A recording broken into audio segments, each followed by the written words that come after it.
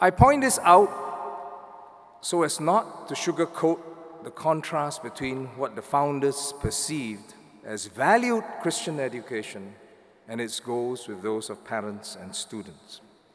The disparity is noteworthy. Yes, a good portion of parents did send their children specifically to ACS because it was a mission school. But not all its students were Christians, or indeed converted to the faith subsequently. As it is sung, our students hail from China's plains and the land of the rising sun. We have many sons from India's strand and the islands of the main. From inception, accepting DNA, accepting diversity was ingrained in ACS's DNA.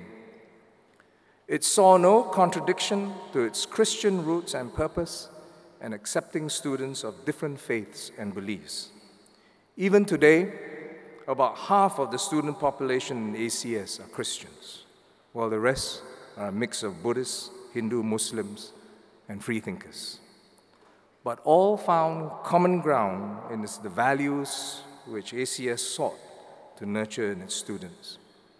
Over the decades, ACS continues to strive at providing her students with the best holistic education possible to become well rounded thinkers and doers. The ACS emphasis on academic achievement, Christian service, and strength of character were hallmarks long before they became fashionable or, as it is now, explicit goals of education. And through the years, that motto, the best is yet to be, continues to be a rallying call to every student. And indeed, our hearts, our hopes, our aims are one. No discord e'er will sever. We stand together for the cause of ACS forever.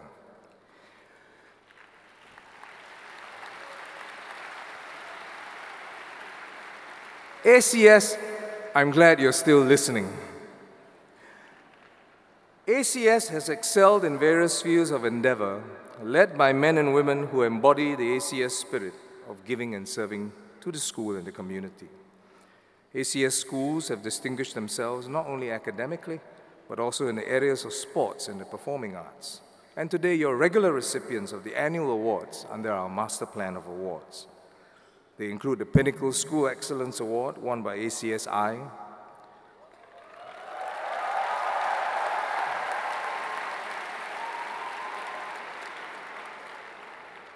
I have to be fair to my constituents, so I'm going to announce the other awards won by the other schools as well.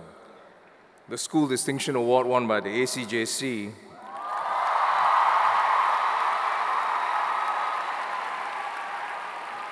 As well as the Sustained Achievement Awards given out to ACS Barker, ACS Junior,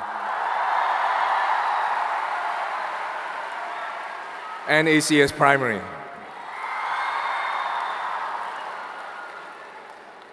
ACSI was also the first school in Singapore to offer the IB and has,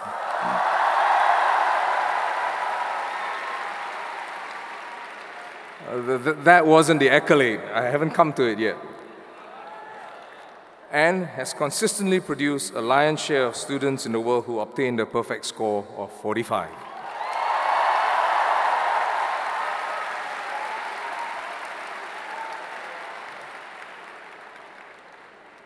I'm talking about last year's batch.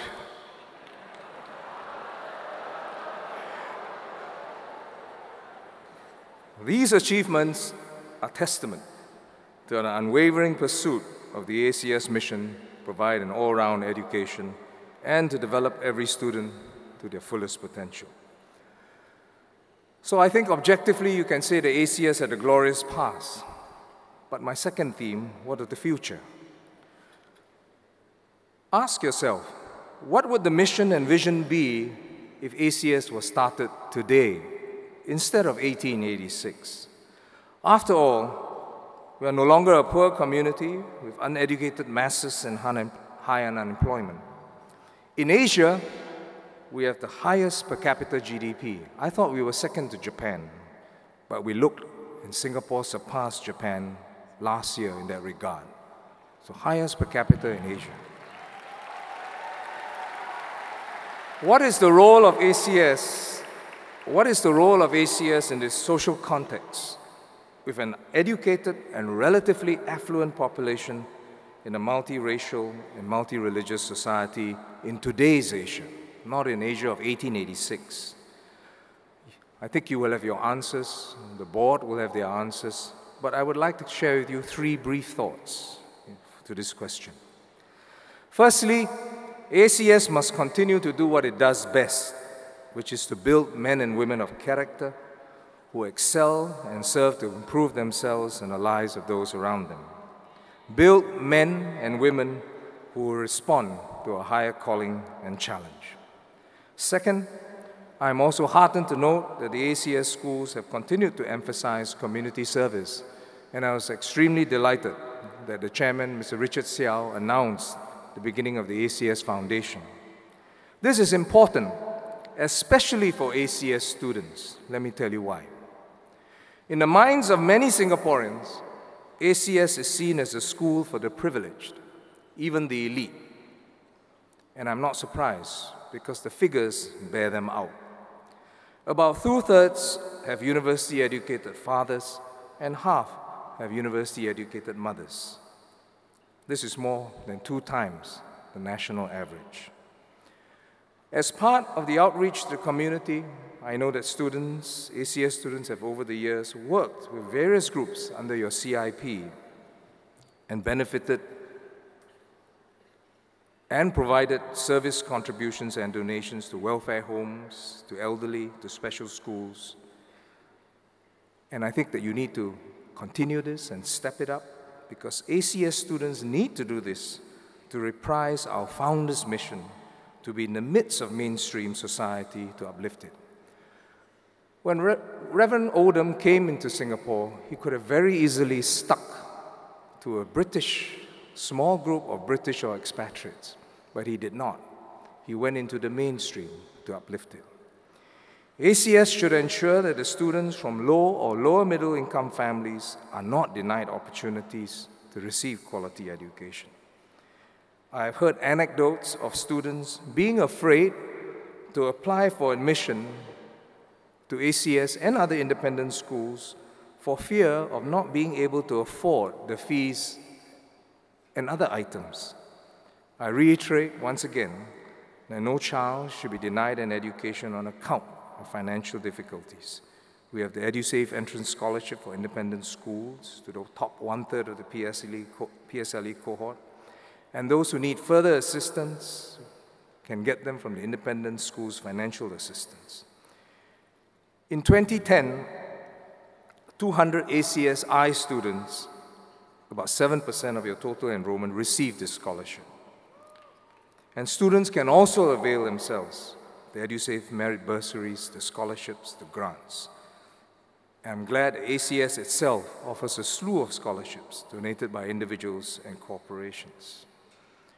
ACS must continue to do its part to ensure social mobility for the able so that no one is left behind. Third and lastly, the ed ACS education must produce independent learners but who know what and why they believe in. In today's modern society, the challenge is too much information from diverse sources. In, this, in that context, we must build into our students a moral compass which equips them to test a surfeit of ideas and alternate lifestyles. They must learn how to reject those which harm them and society and hold firm to the values that will stand the test of time. If ACS can continue to hold true to its mission, to be a beacon of truth and light, an emblem of grand endeavor and excellence, whose students see themselves as leaders of men and agents of good and positive change, then your future will be even better than your past. The best for you is yet to be.